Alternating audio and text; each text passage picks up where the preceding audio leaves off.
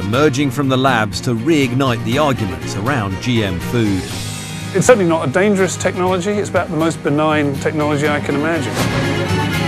So, is this GM's game changing crop? It dispels the myth that GM is some kind of ogre which is going to destroy agriculture as we know it. But organisations which oppose GM insist there's still plenty to fear. We can't give any kind of blanket assurance that GM foods are safe to eat. Yet one of their former leaders breaks ranks for the first time to say they're wrong. It is, in my view, unacceptable, morally unacceptable, to stand out against these new technologies. So, are groups which oppose GM right to be worried, or are they feeding the fear?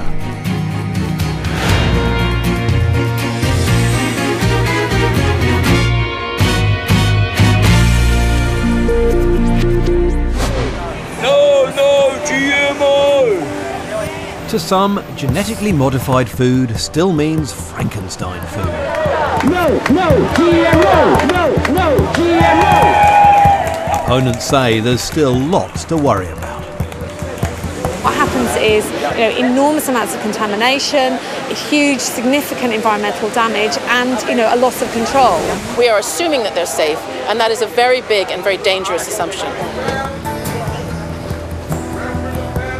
18 million farmers grow GM crops in 27 countries. Billions of meals have been eaten with GM ingredients. So far, a mixture of public concern and European rules have kept them out of British fields. GM has now been around for a generation. After all that time, is the unease and occasional hostility still justified? Tonight we're going to tell you the story of two genetically modified crops that might change your mind. The first, a humble potato, is being developed in Britain. And the other is here in Bangladesh. Hafizur Rahman is one of the country's 70 million farmers. Today he's selling aubergines. It's a common food here, but these are a new genetically modified variety known as BT brinjal.